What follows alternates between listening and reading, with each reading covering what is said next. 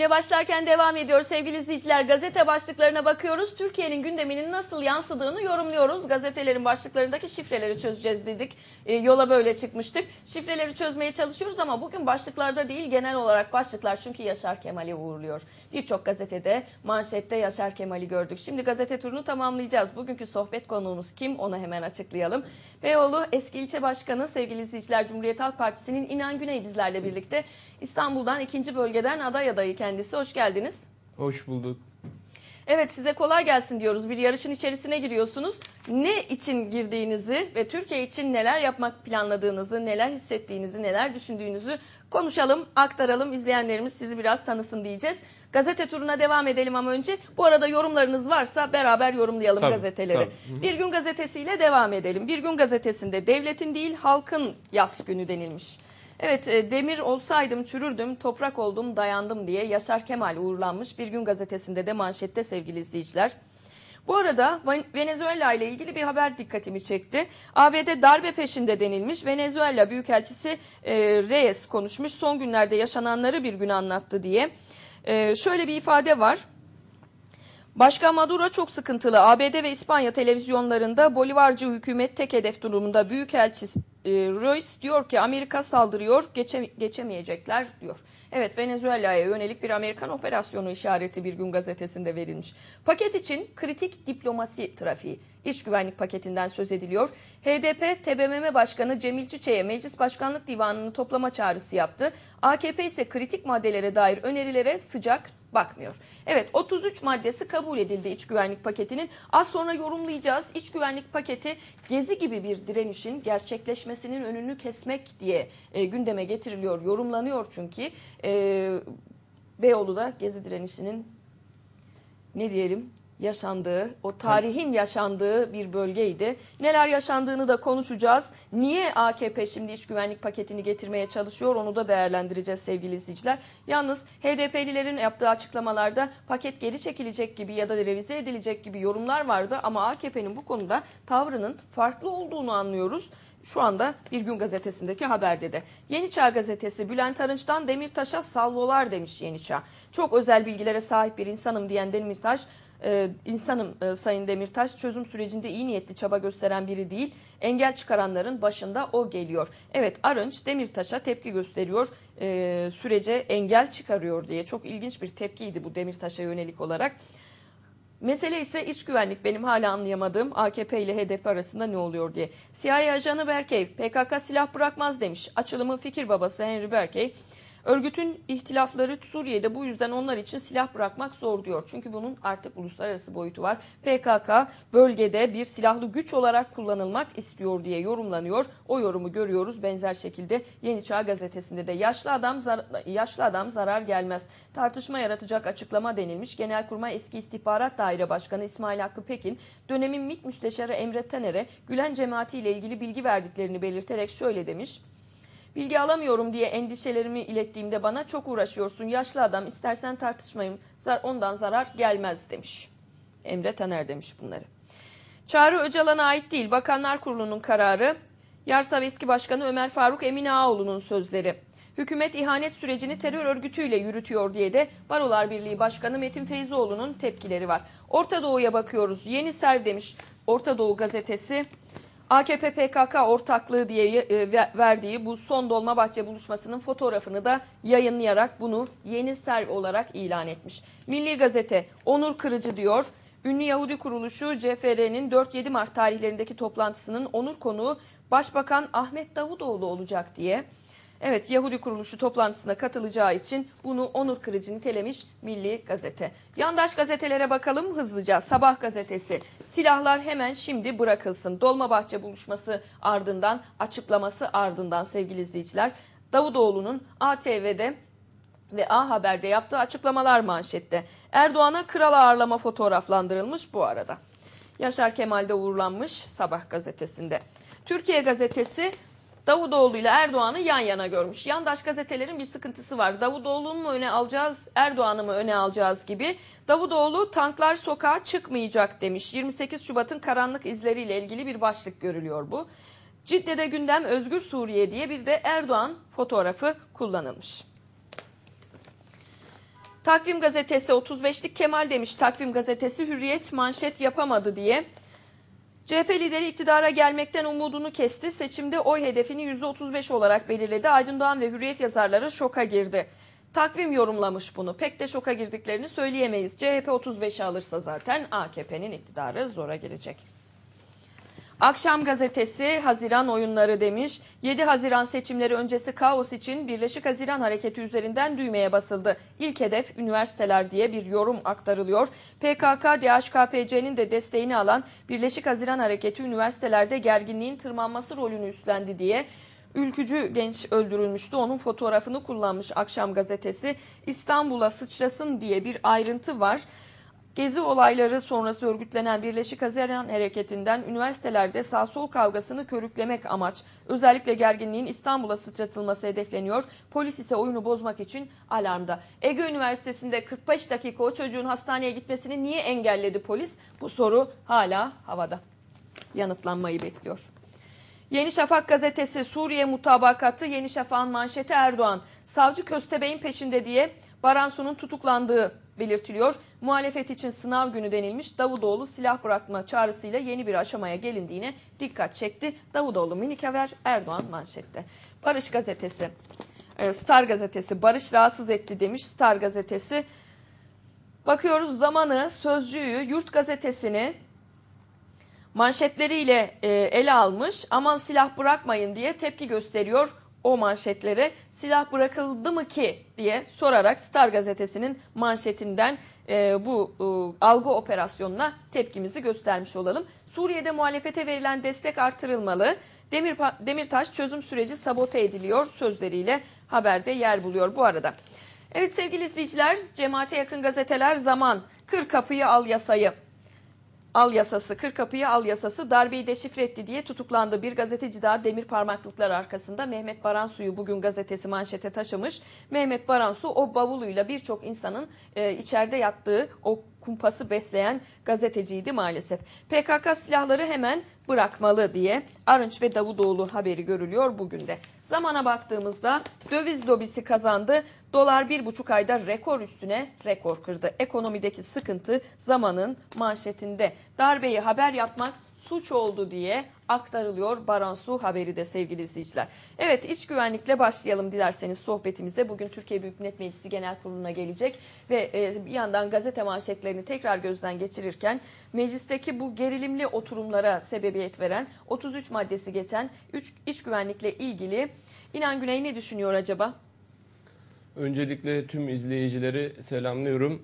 Ee, Yaşar Kemal e, Anadolu'nun yetiştirdiği e, dünyanın sayılı yazar ve aydınlarından e, ışıklar içinde uyusun diyorum.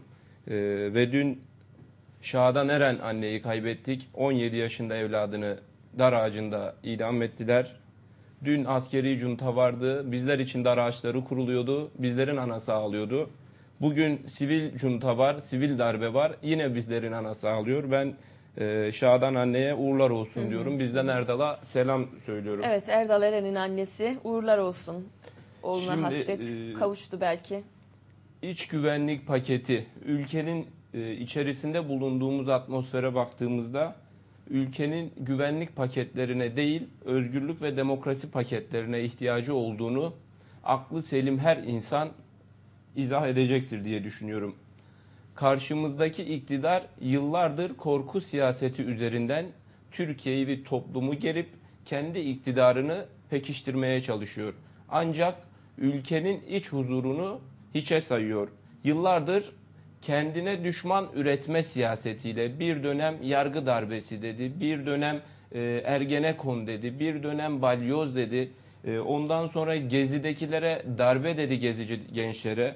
17-25 ee, Aralık e, hırsızlığın ispatlandığı bir e, süreci darbe olarak nitelendirdi. Şu an paralel darbe sürekli bir düşman üretme psikolojisi içerisinde bu tamamıyla faşist bir zihniyetin uzantısı olarak değerlendiriyorum ben. Herkese her şeyi düşman olarak görme ve güvenlik paketleriyle kendi koltuklarını, kendi saraylarını garanti altına, güvence altına alma hissiyatıyla hareket ediyor. Bu psikolojiden ülkeye barış gelmez. Bu psikolojideki yöneticilerden Sağlıksız buluyorsunuz yani Erdoğan'ın ve AKP'nin kesinlikle psikolojisini. ruh, ruh hallerinde e, derinlemesine incelememiz gereken bozukluklar var. Bu psikolojiyle yöneticilik yapan insanlar bu ülkeye barış ve özgürlük vaat edemezler. Zaten getirdikleri iş güvenlik paketinin içeriğine baktığımız zaman polis devletinin kurumsallaştırılmak istendiğini aşikar bir şekilde ortaya koymaktalar. Dün meydanlarda gençlerimizi vuran polislerin hepsi hafifleştirici sebeplerle serbest bırakıldı.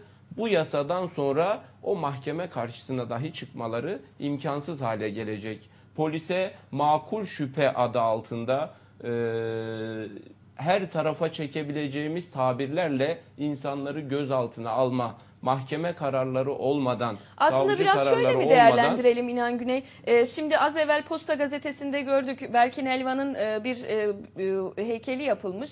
Annesi e, e, o parkın açılışına giderek e, heykeli adeta oğluymuş gibi bir duyguseli fotoğrafta çok güzel yansıyor Demir Soğuk Acı Sıcak haberinde.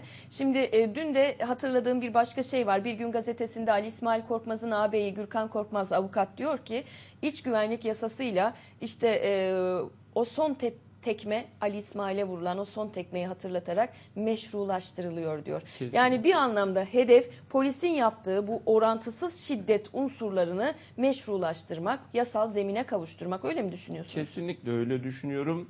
Ee, polisimiz destan yazdı diyen bir zihniyet, destan yazan, evlatlarımızı vuran, Berkin'i vuran, Ali İsmail'e son tekmeyi atanları da yasal olarak koruma statüsüne kavuşturmak istiyor. İç güvenlik paketinin kesinlikle e, tarifi ve izahı budur ve tekrar vurgu yapıyorum. Bu psikolojiye sahip yöneticilerden ülkeye huzur ve barış gelmeyecektir. Gelmedi ve e, önümüzdeki süreçte de kesinlikle getiremeyeceklerine inanıyorum. Evet bir yandan da şimdi e, HDP'lilerin açıklamalarına baktığımız zaman iç güvenlik paketi çözümün önündeki engel olarak nitelendiriliyor ki MHP'de karşı meclisteki bütün muhalefet karşı e, Türkiye'de toplumsal e, sivil toplum kuruluşları karşı barolar yürüdü onlar karşı ama e, Şimdi e, Do- Dolmabahçe Uzlaşısı diye barışı sunduğunu söyleyen AKP bir yandan da e, iç güvenlik paketini de diretiyor. Bugün anladığımız haberlerde anladığımız o. Bir samimiyetsizlik mi görüyorsunuz? Ne düşünüyorsunuz? Kesinlikle var. Ee, ya bir yanda e, bir barış süreci götürüyorum iddiasında olan bir hükümet, diğer yanda da e, iç güvenlik yasasıyla e, faşist e, uygulamaların önünü açacak, bu uygulamalara meşru siyasal zemin, yasal zemin hazırlayacak uygulamalar taban tabana zıt uygulamalarla e, hareket ettiğini görüyoruz ve bu yine az önce söylediğim o e, ruhsal psikolojinin e, O bozukluğun uzantısı. göstergesi. Kesinlikle e, bu kadar tezatlarla e, bugün söylenenin yarın değiştirildiği e, sermayenin uluslararası güçlerin e, söylemlerine ayar verdiği bir hükümet bugüne kadar bu ülke görmedi. Evet tuhaf. Şimdi e, bir- başka konu iç güvenlik Gezi ile ilgili Beyoğlu ile ilgili konuşacağız ama e, Cumhuriyet'in manşeti dikkatimi çekti. Onun için bir e, giriş yapalım ekonomiyle ilgili değerlendirmeye.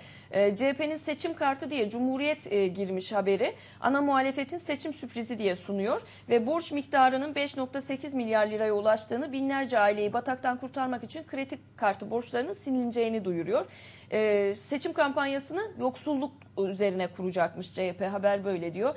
CHP'nin meydanlardaki en büyük kozu binlerce aileyi borçları nedeniyle yıkan kredi kartları olacak. CHP yönetimi on binlerce insanın borcunu ödeyemediği için batağa saplandığı aile facialarının yaşandığı kredi kartı sorununa çözüm için af formülü üzerinde çalışılıyor, çalışıyor denilmiş. Af formülüyle ilgili tabii teknik detaylar henüz tam belli değil ama belirli gelir grupları, belirli limitleri kapsayacağı belirtilmiş. Kaynağın da projeyle birlikte açıklanacağı duyurulmuş.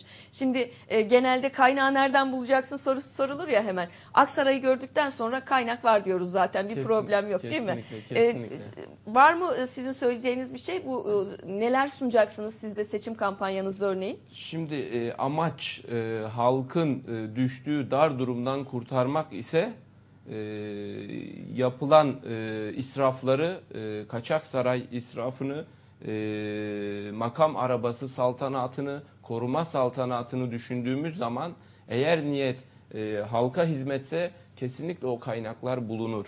Ee, 41 projemiz vardı 2011 seçimlerinde. Aile sigortası dedik. O zaman nereden bulacaksınız diyenler bugün aile sigortasının yasal zeminlerini oluşturdular. Emekliye intibak yasası dedik. O gün nereden bulacaksınız diyenler içini boşalttılar. Farklı bir isimle bizim emekliye intibak e, projemizi hayata geçirdiler.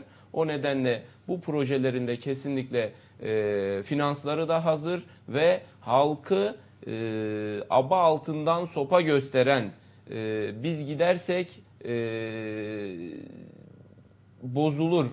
E, İstikrar sürsün istikrar, vurgusu. istikrar bozulur. istikrar sürsün vurgusu halka aba altından sopa göstermek.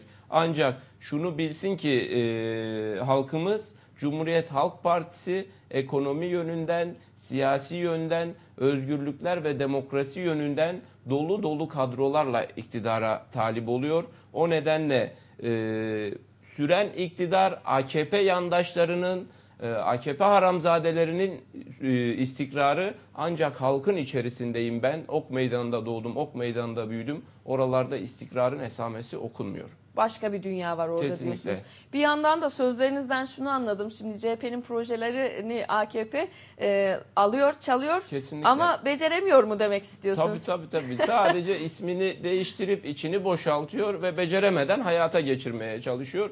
Zaten Sayın Genel Başkanımız e, sosyal politikalar alanında uzman biliyorsunuz. O nedenle bu konudaki projeleri dolu dolu olarak e, seçim sürecinde halkımızın e, söylemine e, sunacağız. Şimdi biraz aslında böyle dar kapsamlı yola çıkarak böyle spesifik konulardan yola çıkarak sizin siyasete katkınızı ortaya koymaya çalışalım. Çünkü ön seçim demek çok farklı isimlerin siyasete katılması demek, demokrasi demek. E, bu bağlamda da Cumhuriyet Halk Partisi'ni tebrik edelim. Sadece ön seçim yapılan tek parti olması sebebiyle Türkiye e, demokrasisine katkısı dolayısıyla.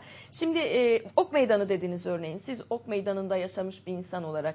Ok Meydanı'nı biz Gezi'de Berkin Elvan'la en çok hatırladık. Ee, en çok duyduk ismini. Ee, şimdi Ok Meydanı'nı bize e, sıkıntısıyla beraber anlatır mısınız? Orayı e, nasıl bi- bilelim, nasıl tanıyalım? Şimdi e, Ok Meydanı, e, Ok Meydanı'nda doğan, büyüyen e, bizler e, bir kaderin içine doğuyoruz. Ok Meydanı yokluk demek, Ok Meydanı yoksulluk demek.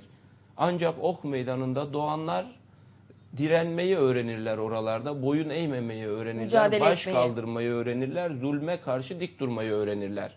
Berkin 14 yaşında dik durdu, zulme boyun eğmedi. Ekmek almaya giderken Berkin vuruldu ve militan dendi. Yetmedi, analarımız meydanlarda yuhlatıldı.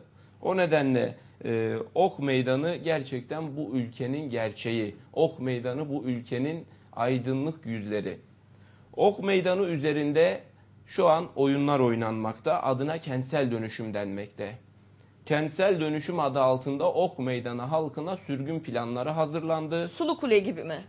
Sonu biz e, mahkemeye verdiğimiz e, itiraz dilekçelerinde Ok Meydanı halkının bu planlarda düşünülmediğini, Ok Meydanı'nda yaşayan yüz binlerce insanın Sivaslı'nın, Giresunlu'nun, Antalyalı'nın, Rizeli'nin, Erzincanlı'nın, Tunceli'nin binlerce insanın bu planlarda olmadığını, buradaki sosyal ilişkilerin, komşuluk ilişkilerinin dikkate alınmadığını, Ne var peki planda? kiracılık ilişkilerinin dikkate alınmadığını, derneklerin, kültür merkezlerinin dikkate alınmadığını, halkın dikkate alınmadığını söyledik ve mahkeme heyeti bu kadar yandaşlaşmış bir yargı ona rağmen dürüst savcılar, dürüst hakimler var. Oy birliğiyle bizim saydığımız bu gerekçelere vurgu yaparak planları iptal etti. Şimdi planlarda halk adına hiçbir şey yok. Biz şunu söyledik ok meydanı dönüşsün ancak ok meydanı halkını garanti verin. Beraber belediye ile birlikte birer sözleşme yapın. İnsanlar dönüşümden sonra burada hangi blokta kaç metrekare dairede kaçıncı katta oturacağını bilsinler. Ondan sonra davulla zurnayla ok meydanını yıkalım dedik. Ancak AKP'nin Sulu Kule'de yaptığı gibi şu an Sulu Kule'ye baktığınız zaman lüks villalar yükseldi ve hepsi AKP bürokratlarına ait villalar. İstanbul zaten geçtiğimiz günlerde en e, kira artışı en yüksek e, e, dünyadaki kentlerden birisi oldu. Topraklar değerli diye oraları alıp villa yapıyorsunuz. İnsanlar nerede yaşarsa yaşasın mı? Kesinlikle, kesinlikle. Tarla başı dediniz. Tarla başına baktığımız zaman oradaki halk sürgün edildi ve yandaş bir firmaya milyar dolarlık bir pasta sunuldu. Ayazma'ya baktığınız zaman yine gece kondu halkı mağdur edildi ve lüks rezidanslar yükseldi. Yani bu zihniyette dönüşümden sonra halkı orada barındırma niyeti yok. Bunun uzantısı Ok Meydan'da olmasın dedik. Ok Meydanı halkının mülkiyet hakkını garantide görmedik ve bu nedenle de planlama sürecini kökten e, dava ederek Şu anda iptal durum, ettirdik. du- durum ne? Şu an anda? yeni bir plan getirdiler. Ee, ancak bu planda biz yine e, halkın e, mutlu olacağına inanmıyoruz. Bir kere plan yapma sürecine baktığımızda 80 bin kişiyi ilgilendiren planlar 3-5 tane bürokratın vicdanına teslim edilemez. Kapalı kapılar ardında rant odaklarıyla planlar yapamazsınız. Avrupa'da planlama yaptığınız zaman vatandaşın eline tebeşir verirler. Yolum buradan geçsin der. Okulumu buraya yap der. Sağlık merkezim burada olsun. Bizde süreç böyle işlemiyor. Bizde süreç e, 3-5 tane bürokrat ve oranın pazarlanması düşünülen e, inşaat firmalarıyla birlikte onların karını maksimize edecek planlar yapılıp bölge halkına dayatılıyor. Bu usul bile bizim AKP planlarına itiraz etmemiz için yeterlidir diye düşünüyorum. Evet bu projeye de ye- yeni getirilene de itiraz Yeni edeceksiniz. getirilen şu an 5000'liği geçti. Büyükşehir'den Büyükşehir Meclis grubumuz İstanbul Büyükşehir Meclis grubumuz itiraz etti. Ee, yakında binlik planlar Beyoğlu Belediye Meclis grubuna gelecek. Meclis üyesi arkadaşlarımız değerlendirecek ve ona göre de tekrar kararlarını verecekler. Peki şimdi o, o Ok Meydanı demişken bir de Beyoğlu'na bakalım. Siz Beyoğlu'nun ilçe başkanlığını yapmış bir isimsiniz. Şimdi Beyoğlu'nu da biz e, Gezi'de e, ondan önce de gerçi e, tüm Türkiye tanıyor. Ayrı da İstanbul'un merkezi, dünyanın merkezi Beyoğlu diyebiliriz nihayetinde ama Beyoğlu'nun esnafının sıkıntılarını daha evvel duyduk. Beyoğlu'nun Gezi'de yaşadıklarını hep beraber tanık olduk, izledik ve e, gidenlerimiz orada yaşadı. Beyoğlu'nu nasıl e, analım, nasıl değerlendiriyorsunuz? Şimdi e, Beyoğlu 12 yıldır dertli 13 yıldır AKP iktidarından beri. Çünkü AKP iktidarı eğlenceye, kültüre, sanata e, düşman bir iktidar. O nedenle de ilk hedef tahtası Beyoğlu ilçemiz oldu. Beyoğlu ilçemizde içki e, tırnak içerisinde söylüyorum bir içki e, düşmanlığıyla insanların eğlence kültürüne saldırılarda bulunuldu ve e, masa sandalye denen Türkiye'nin ve dünyanın hiçbir yerinde olmayan bir yasak Beyoğlu'nda icat edildi.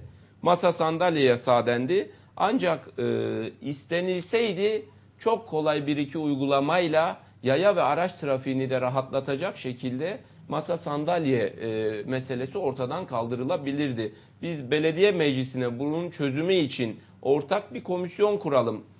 Belediye yetkililerinin, esnaf kuruluşlarının, ana muhalefet partisinin içerisinde olacağı, gerekiyorsa barodan da bir avukat isteyerek bu komisyonla bir aylık bir çalışmada biz bu sorunu kökten çözeriz dedik. Ancak zihniyet e, eğlence kültürüyle hesaplaşmak olduğu için Şimdi onu e, orayı bir buna anlayalım mı? yanaşılmadı. Yani ya- e, zihniyet bir yandan işte eğitimde e, dinselleştirme ile görüyoruz, imam hatipleştirme ile görüyoruz. İşte kadına bakışta görüyoruz. E, sözlerde fıtratta eşitlik falan da yok zaten.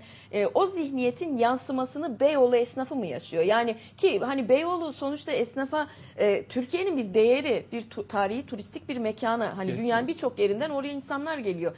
Buna rağmen e, bir şey tavırla mı karşılaşıyorsunuz? Bir zorluk bunun için mi çıkarılıyor? Şimdi Beyoğlu esnafından birkaç arkadaşımızı buralarda e, konuk ederseniz Beyoğlu esnafının çektiği zorlukları. Şimdi biz anlatsak siyasi diyecekler. Ancak biz halkın burada e, dili olmaya çalışıyoruz. Çünkü biz de o bölgede yaşıyoruz. Her gün oradayız. E, esnaf kardeşlerimizin ruhsat almadan tutun e, masa sandalyesinden tutun. Zaten Beyoğlu'nda her esnafın e, eğlence mekanı Türkiye'de, ikinci bölgede İstanbul'da her esnafın e, mekanından içeri girdiğinizde onlarca ruhsat göreceksiniz.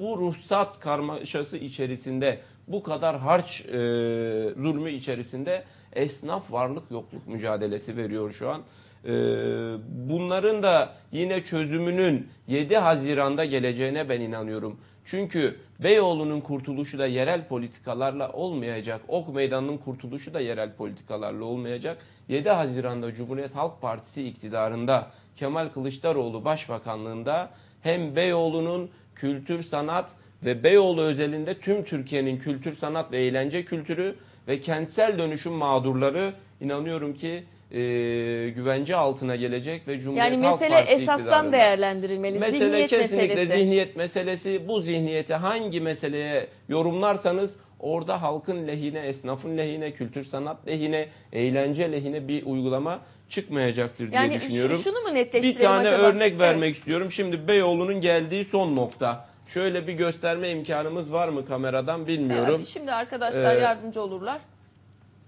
Tiyatro kayıp. Beyoğlu'nda tiyatro kayıp diyor gazete manşetleri. Kültür sanatın başkentinde tiyatro kalmadı. Devam edersek eğer kimler geldi, kimler geçti? Yine Beyoğlu'ndaki anlatıyor? yine Beyoğlu'ndaki Ekrana e, yansıtalım mı? yansıtalım. Şöyle buyurun. Eski tarihi Şuradan binaların mı yok İnci edildiğini Pastanesi geldi geçti. Emek Sineması geldi geçti. Demirören AVM'nin yerine bir ucube yapıldı. Ee, tersaneler şu an Beyoğlu'nda tehdit altında. Tarihi tersaneler tehdit altında. Ki tersanelerin kapı kollarından tutun içerisindeki e, havuzlara kadar her şeyi A'dan Z'ye e, 2009 yılında Turizm Bakanlığı tarafından tescillenmiştir tersaneler. Venedik tersanelerinden sonra dünya tersanecilik tarihinin en değerli e, kültürel mirasları. Bugün iki tane 400 kişilik otel yapacağız adı altında ama yine bir cami yapacağız kisvesine bürünerek bölgeye dayatılmakta. Şimdi Yani o e, tersaneler tahrip edilecek, otel mi yapılacak Tersane oraya? Bölgelerine iki tane 400 kişilik otel yapacağız diyorlar. Ancak bunu alt tarafta tutuyorlar. Üste 1000 kişilik cami yapacağız diyorlar. E biz de söylüyoruz orada Çorlu'da Ali Paşa Camisi var tersanelerin içerisinde ve 2000 kişilik. Bunu Beyoğlu Müftülüğü'nün sayfasına giren görür. Siz 2000 Kandırmayın kişilik diyorsunuz 300 insanları. yıllık caminin olduğu bir yere 1000 kişilik cami yapacağız diyorsanız yazıktır. İbadetimizi, ibadethanelerimizi, kutsalımızı kullanmayın. Rantınız için kullanmayın. Yazıktır Müslümanlığı kullanmayın diyorum ben.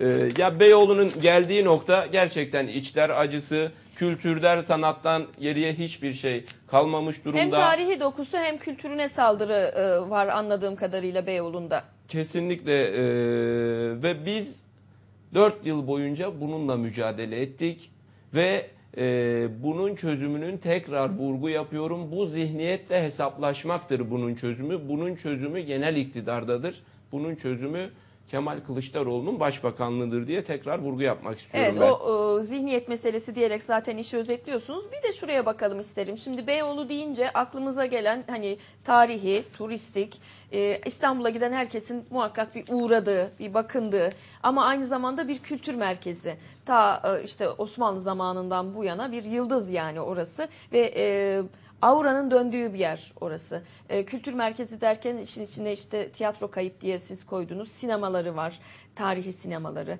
işte e, tiyatroları var. Bütün bunlara bir e, turizmcilik açısından baksak bile bir değer olarak değerlendirmek söz konusuyken genel anlamda kültürü de, sanatı da, tarihi de e, bütün dokusuna bir saldırı yaşandığını söylemek mümkün mü Beyoğlu'na? Şimdi e, Beyoğlu özelinde tüm Türkiye'de bu müdahaleler yapılıyor. Ne uğruna yapılıyor? Rant uğruna, otel hırsı uğruna, AVM hırsı uğruna, daha fazla kar hırsı uğruna yapılıyor.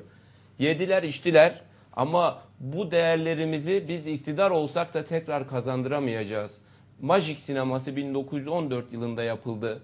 Türkiye'nin İstanbul'un ilk sineması olduğu yere 7 kere mahkeme kararı iptal etmesine rağmen 8. de yine yıkılıp 14 katlı otel yapılıyor.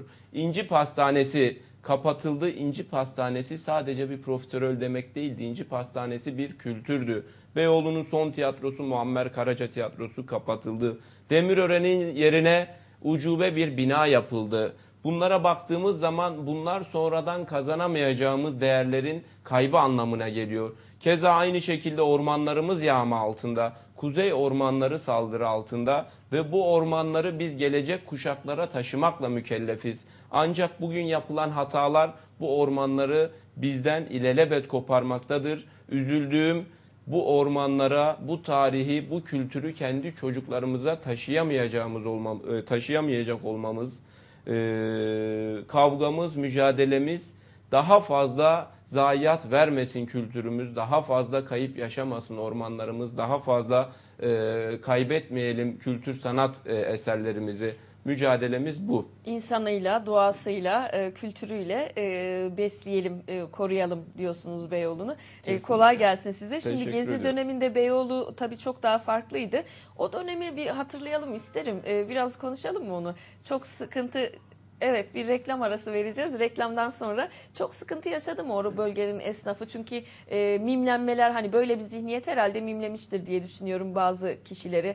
Revirler oldu çünkü. E, insanlar e, korumaya aldılar. Divan Otel'in başına geleni hepimiz biliyoruz. CHP'nin eski ilçe başkanı Beyoğlu ilçe başkanı İnan Güney ile İstanbul 2. bölgeden aday adayı niye siyasete girdiğini konuşacağız ama Gezi için şöyle bir e, o dönemi hatırlayalım istedik. Bugün e, e, haberlerde de gördüm işte o dönemde e, insanlara saldıranlar da vardı. Palalıları görmüştük örneğin hatırlayacaksınız ve esnaf o sırada bir zor soruyla karşı karşıya kaldı galiba. Biz gazeteciler için önce insan mısın, önce gazeteci misin sorusu sorulur ya. Esnaf da orada insani bir refleks gösterdi. Neler yaşadı? Şimdi Beyoğlu esnafı o dönemde birileri tarafından provoke edilmek istendi. Ee, gezideki gençlere karşı. Ancak Beyoğlu esnafı şunun farkındaydı. Buraya gelen gençler kendi potansiyel müşterileriydi. Ve onun potansiyel müşterilerine e, hukuksuz, mesnetsiz bir şekilde müdahale eden, gaz atan bir devlet vardı karşılarında. E, bu provokasyona uyup elinde palayla çıkan e, insanlar oldu. Ancak esnafın e, çoğu o gençlere sahip çıktı. O gençlere kapılarını açtı. Çünkü onlar biliyordu ki o gençler onların evlatları, onların müşterileri. E, o nedenle esnaf kardeşlerimiz e, oradaki sivil toplum kuruluşlarının e, müdahalesiyle, e, telkiniyle e, doğruyu görüp e, gezide mücadele eden gençlerle karşı karşıya gelmediler. E, gezi süreci e, Türkiye demokrasi tarihi açısından e, milattan önce milattan sonra diye bir ayrım e, yaratmış bir süreç. E, ne yaparsanız yapın oraya o AVM'yi yapacağız diyen zihniyetin geri adım attığı, gençler tarafından geri adım attırıldığı e, bir mücadele süreci, Haziran devrimi diyoruz. O nedenle orada direnen gençlere selam olsun diyorum buradan. E, sabah e, 4'te Genel Başkanımızın görevlendirmesiyle 30 Mayıs'ı 31 Mayıs'a bağlayan sabah 4'te Sayın Genel Başkanımızın görevlendirmesi e, o dönem e, yanımızda olan e, milletvekillerimizle birlikte parkta sabah 4'te çevik kuvvet araçlarının tomaların bariyerleri açıp halka doğru geldiğini, gençlere doğru geldiğini gördük. O anda Vali Bey'e ulaşmaya çalıştım. E, ben aradım ancak özel kalemi çıktı ve Vali Bey'in müsait olmadığını söyledi. Emniyet müdürünü aradım sabah 4'te e, istirahatte olduklarını buyurdular. Kendileri saraylarında dinlenirken evlatlarımıza meydanlarda e, gazla, copla müdahale ettiler. Eziyet Ee, ettiler adeta değil mi? Söylediğim O dönem- şuydu, burada müdahaleyi gerektirecek bir şey yok. Burada panayır var. Burada yüzü maskeli kimse yok. Burada illegal bir örgüt yok. Burada aydınlar var, yazarlar var, öğrenciler var, Sanatçılar gençler var. var. Bir tane burada e, provoke edecek kişi yok. Kime, neye, niye müdahale ediyorsunuz? Muhatabımız e, kim olacak? Ancak hiçbir muhatap bulamadan e, sabah 4'te e, operasyonu başlattılar ve e, bütün Türkiye'ye yayılan e, Berkinlerin, Ali İsmail'lerin, Hasan Feritlerin, Abdullah'ların, Ethemlerin canlarıyla bedel ödediği bir e, Haziran direnişi e, yaşandı ülkede. Bir Bu- yanımız Bahar Bahçe diye başlık atmıştı Tanıl Bora Gezi'yi anlatırken. Çok doğru Güzel de atmış. anlatmıştı. İlçe başkanlığımızı iki ay boyunca o gençlere yuva yaptık. Yandaş medya diyorsunuz. Yandaş haber bültenleri ana haber bültenlerinde ilçemizi gösterdiler. İlçe başkanı odasını revir yapmış diye. Bugün olsa yine yaparım. O gençleri sizlerin eline bırakmayız. O gençleri sizin faşist polislerinizin eline bırakmadık, bırakmayacağız. Ne zaman ki bu devlet tekrar halkın devleti olacak, ne zaman ki bu devlet fakirin, fukaranın, yoksulun devleti olacak, ne zaman ki bu devlet saraylarından inip halkın içerisine karışacak, o gün biz gençlerimizle birlikte polisimize kucak açarız, çiçeklerle karşılarız. Ancak bugünkü polise değil. Evet, e, bir anlamda da aslında bu söylediklerinizle neden siyasete girmek istediğinizi anlamış oluyoruz. E, söz dilerseniz böyle bağlayalım. Artık birkaç dakikamız kaldı. Şimdi şu müsaadeniz olursa hızlıca şu e, silahsızlanma. e, şimdi Cumhuriyet Halk Partisi ezelden beri birileri ağzına alamazken Kürt sorunu dedi, raporlar yayınladı, silahsızlanma dedi, barış dedi. Bunun için bedel ödeyen büyüklerimiz oldu. Biz yine barış hemen şimdi diyoruz.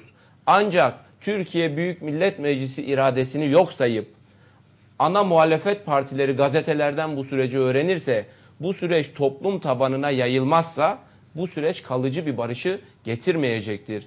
Seçim süreci yaklaştığında AKP yine süreç, yine açılım deyip ortalara düşmekte, seçimden sonra bunları unutmakta. Bir yanda Uludere'nin hesabını verememiş bir iktidar, diğer yanda Uludere'ye kadar gitmiş bir Cumhuriyet Halk Partisi Genel Başkanı. Bir yanda Gezi'de gençlerimizi vuran bir iktidar, bir yanda Gezi'deki gençlerle oturup çay içmiş bir genel başkan.